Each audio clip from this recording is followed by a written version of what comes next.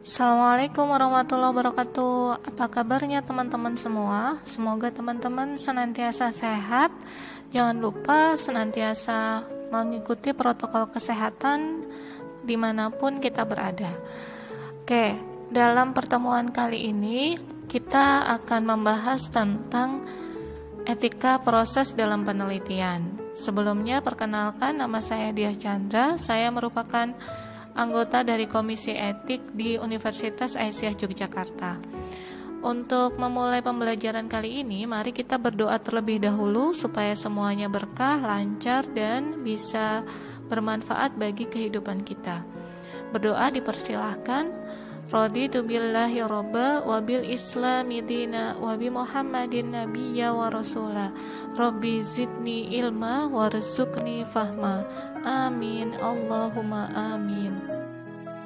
Baik, tujuan pembelajaran pada hari ini kita akan berbicara terkait dengan sejarah perkembangan etik, standar peneliti, dan tata laksana untuk proses kaji etik Oke, sekarang kita masuk pada tujuan pembelajaran yang pertama, yaitu sejarah perkembangan etika penelitian.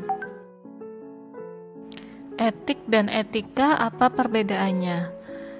Etik sendiri pada dasarnya dia berasal dari bahasa Latin, yaitu dari Yunani kuno yang disebut sebagai etikos, di mana etik sendiri merupakan Definisinya adalah kebiasaan dan peraturan perilaku yang berlaku dalam masyarakat yang merupakan refleksi dari filsafati atas moralitas pada masyarakat tertentu. Oleh karenanya, etik itu identik dengan kata moral yang berarti juga adat atau cara hidup. Nah, oleh karena itu, kode etik penelitian bisa didefinisikan merupakan acuan moral bagi peneliti dalam melaksanakan penelitian untuk pengembangan ilmu pengetahuan dan teknologi bagi kemanusiaan. Nah, hal ini merupakan suatu bentuk pengabdian dan tanggung jawab sosial serta ketakwaan kita kepada Tuhan Yang Maha Esa sebagai hambanya yang memiliki ilmu. Etika penelitian sendiri dia berkaitan dengan beberapa norma, yaitu norma sopan santun yang memperhatikan konvensi serta kebiasaan dalam tatanan di masyarakat. Kemudian ada norma hukum mengenai pengenaan sanksi ketika terjadi pelanggaran, serta norma moral yang meliputi etikat dalam kesadaran yang baik serta jujur dalam melakukan penelitian. Dengan demikian, meskipun intervensi yang dilakukan dalam penelitian tidak memiliki resiko yang dapat merugikan atau membahayakan responden, namun peneliti perlu mempertimbangkan aspek sosial etika dan menjunjung tinggi harkat serta martabat kemanusiaan, sehingga semua penelitian itu mampu memiliki etika penelitian yang baik scientific review atau penilaian ilmiah. Sebagai seorang peneliti, tentu sudah mengenal dan terbiasa dengan proses penilaian ilmiah. Nah, penilaian tersebut dilaksanakan berdasar berbagai prinsip ilmiah yang universal dengan cara dan metode yang sudah diakui keabsahannya oleh masyarakat ilmiah. Namun sayangnya, belum semua ilmuwan dan peneliti di bidang kesehatan itu memahami mengenai proses penilaian penelitian dari dimensi etik serta menyisipkan prinsip etik dalam desain penelitian. Sehingga karena kekurang kesadaran tersebut, beberapa peneliti terkadang masih mempertanyakan mengenai bagaimana proses kaji etik yang dilakukan oleh Komisi Etik Penelitian Kesehatan dan belum menyertakan mengenai prinsip-prinsip etik dalam protokol penelitian yang diajukan.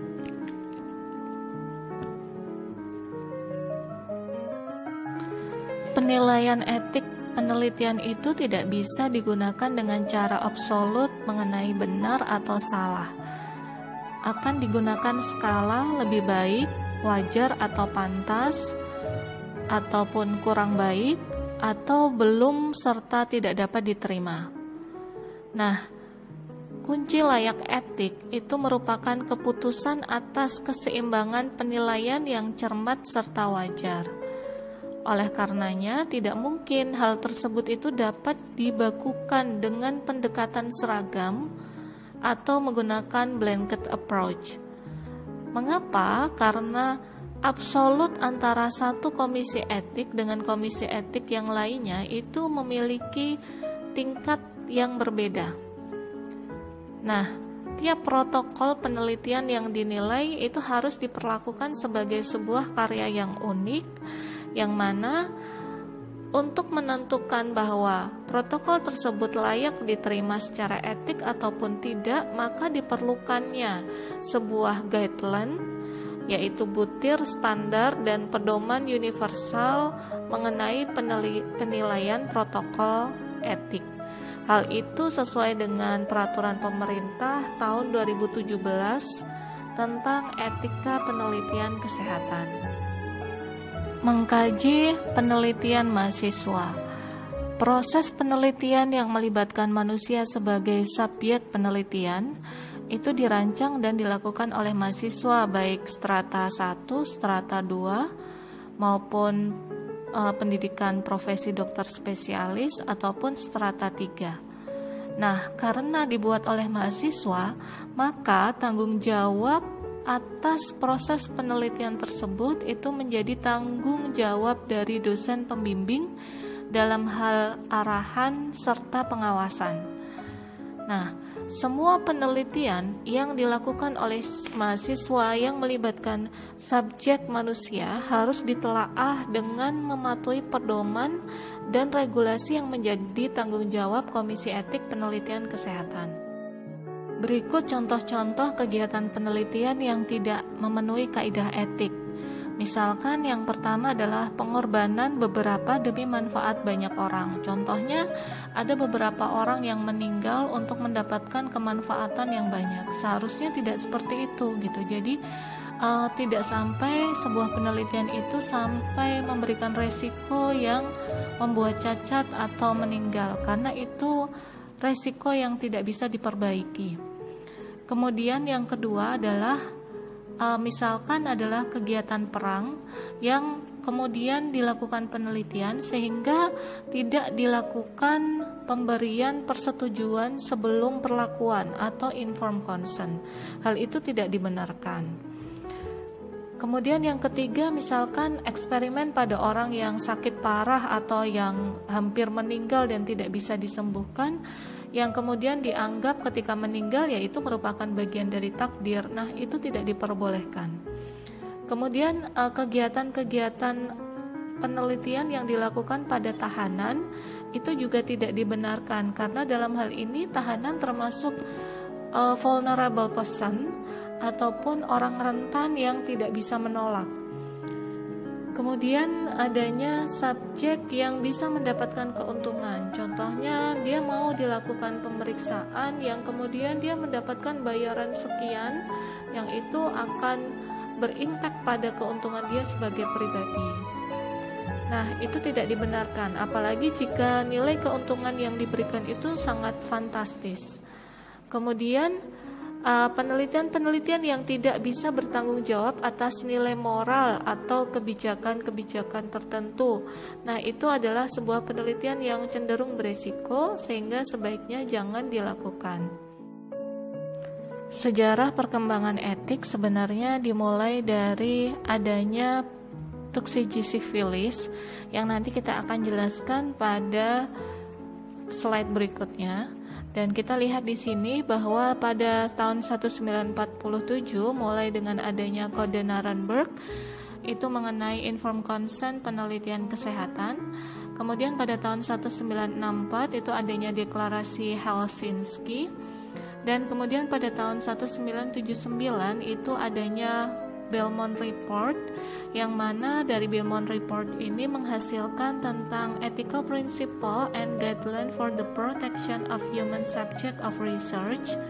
Dan pada tahun 1981 dari pemerintah Amerika Serikat itu mulai membentuk Institutional Research Board atau Komisi Etik Penelitian Kesehatan Nasional yang kemudian pada tahun 1991 mulai dibuatlah aturan umum mengenai IRB tersebut serta pada tahun 2000 WHO mulai memberikan uh, perhatian khusus mengenai Komisi Etik Penelitian Kesehatan dan diluncurkan pada tahun 2011 itu mulai dibentuknya guideline yang dikeluarkan oleh WHO meliputi standar operasional prosedur serta pada tahun 2016 itu adalah CIOMS yaitu Council International uh, of Medical Sciences mengenai Ethical Guideline for Health Related Research Involving Humans. Adanya tentang Komisi Penelitian Kesehatan ini sebenarnya diawali dari peristiwa tuksiji sifilis yang mana tuksiji sifilis itu merupakan penelitian mengenai penyakit menular seksual yang dilakukan pada tahun 1932 hingga 1972 sehingga terjadi selama 40 tahun. Penelitian ini dijalankan pada warga kulit hitam di Macon Country, Alabama, Amerika Serikat yang mana Eksperimen yang dikenal dengan Tuksiji sifilis itu melibatkan 399 warga yang mengidap penyakit dan 201 warga yang tidak mengidap penyakit. Nah, para peserta itu tidak mengetahui bahwa dirinya itu sedang dilibatkan dalam eksperimen besar dan hanya diberitahu bahwa prosesnya berlangsung sekitar enam bulan. Mereka kemudian dibeli makanan, diberikan pengobatan, diberikan asuransi gratis untuk pemakaman. Akan tetapi, pada tahun setelahnya itu sudah terdapat sebuah antibiotik yang kemudian dikenal dengan nama penisilin yang mampu mengatasi dari penyakit sifilis tersebut. Uh, Ditemukannya penisilin itu yaitu pada tahun 1946 sampai 1948. Namun pada penderita sifilis yang menjadi subjek dari penelitian itu mereka tidak diberikan penisilin. Tetapi mereka justru sebagian besar sengaja disuntik dengan penyakit itu supaya tertular. Kebanyakan yang menjadi subjek itu adalah narapidana dan pasien dari rumah sakit jiwa.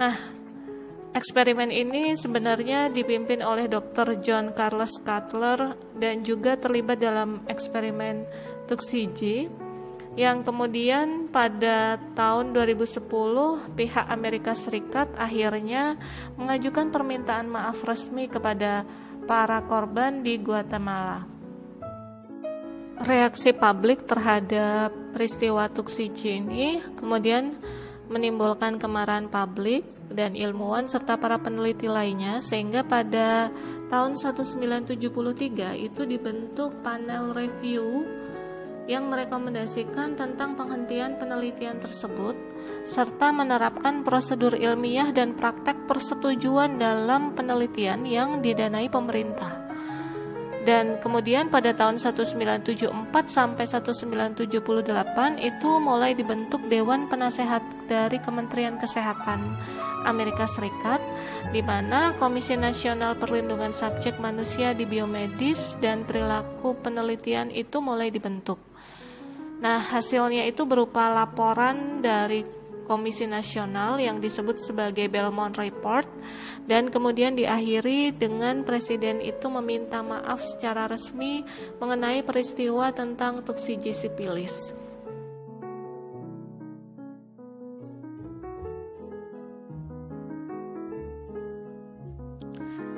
Prinsip etik kemudian muncul pertama kali pada Belmont Report di mana Belmont Report ini lahir pada tahun 1976 yang mana kemudian Belmont Report ini dilahirkan sebagai uh, kajian mendalam dari pengalaman dan peristiwa yang menghebohkan yang menjadi skandal dalam dunia penelitian. Salah satunya adalah Tuksiji sipilis. Secara universal, ketiga prinsip yang lahir pada Belmont Report tersebut telah disepakati dan diakui sebagai prinsip etik umum penelitian kesehatan yang memiliki kekuatan moral, sehingga suatu penelitian dapat dipertanggungjawabkan baik menurut pandangan etik maupun menurut pandangan hukum. Tiga prinsip etik ini adalah yang pertama, prinsip menghormati harkat martabat manusia atau respect for person. Prinsip ini bertujuan untuk menghormati otonomi yang mempersyaratkan bahwa manusia yang mampu memahami pilihan pribadinya untuk mengambil keputusan mandiri atau self-determination dan melindungi manusia yang otonominya terganggu atau kurang. Mempersyaratkan bahwa manusia yang berketergantungan atau dependent ataupun rentan yaitu vulnerable perlu diberikan perlindungan terhadap kerugian atau penyalahgunaan, harm and abuse. Nah, prinsip dari menghormati harkat martabat manusia ini adalah penggunaan informed consent atau persetujuan sebelum penjelasan dalam melakukan penelitian. Jadi, sebuah penelitian itu diwajibkan bahwa subjek itu memberikan informed consent terhadap tindakan yang akan dilakukan. Prinsip yang kedua yaitu berbuat baik, beneficence, dan tidak merugikan, non-maleficence. Prinsip etik berbuat baik mempersyaratkan bahwa resiko penelitian itu harus wajar dibandingkan manfaat yang diharapkan. Desain penelitiannya pun harus memenuhi persyaratan ilmiah, para peneliti harus mampu melaksanakan penelitian dan sekaligus mampu menjaga kesejahteraan subjek penelitian. Kemudian adanya prinsip do no harm atau non maleficent atau tidak merugikan yang menentang segala tindakan dengan sengaja merugikan subjek penelitian. Prinsip tidak merugikan adalah jika tidak dapat melakukan hal yang bermanfaat, maka sebaiknya jangan merugikan orang lain.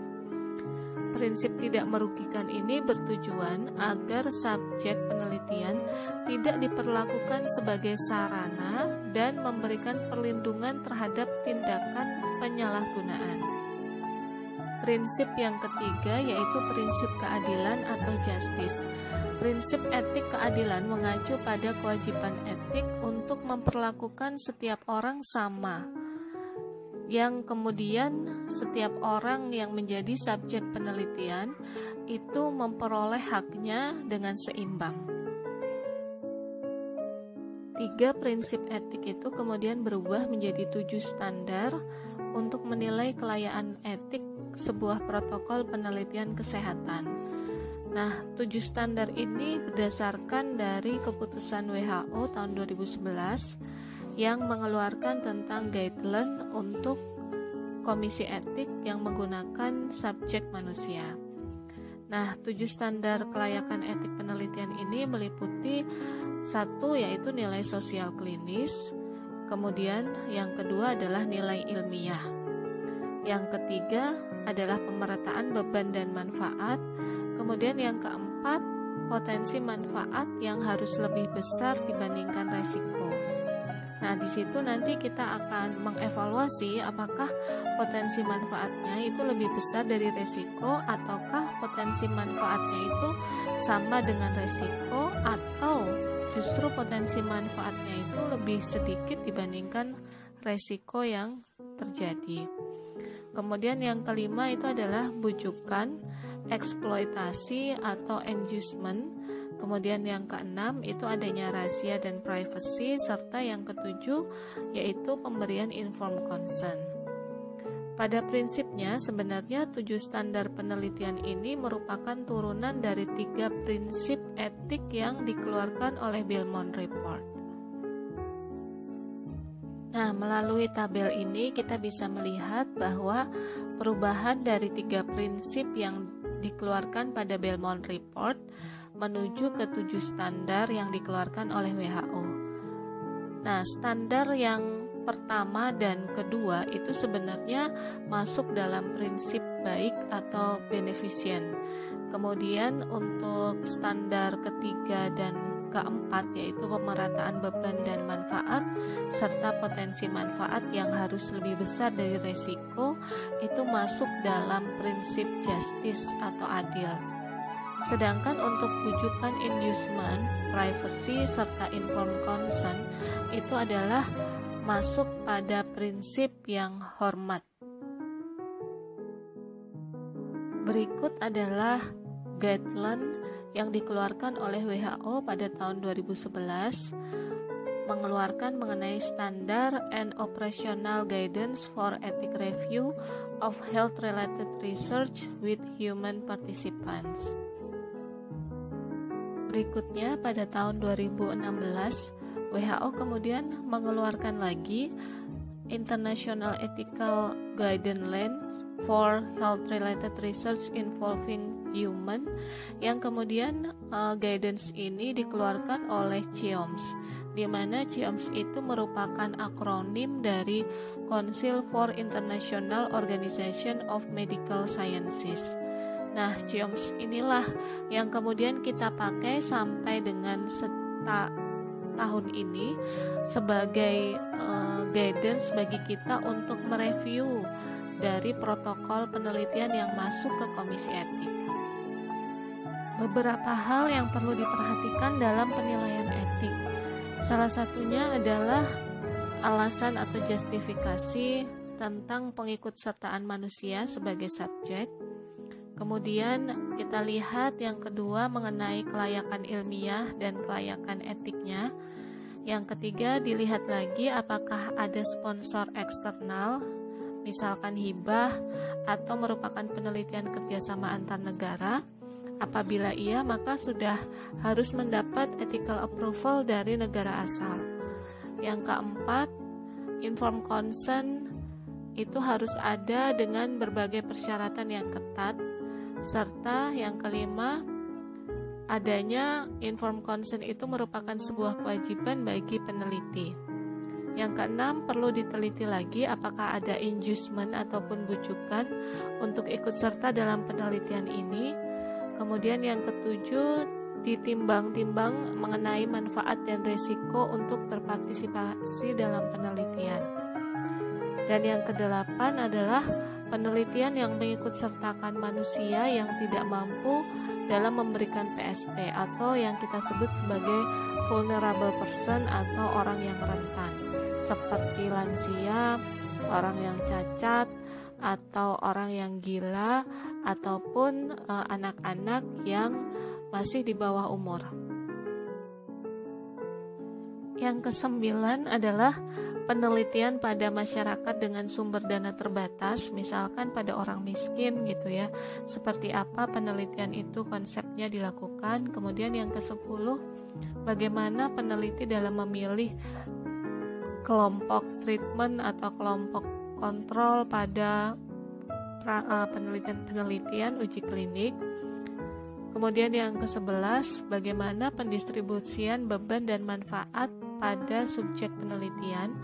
Kemudian yang ke-12, seperti penelitian yang mengikutkan manusia yang rentan atau vulnerable seperti anak gangguan jiwa, kemudian perempuan yang hamil, bagaimana dalam memperlakukannya. Kemudian yang ke-13, apakah ada perlindungan kerahasiaan?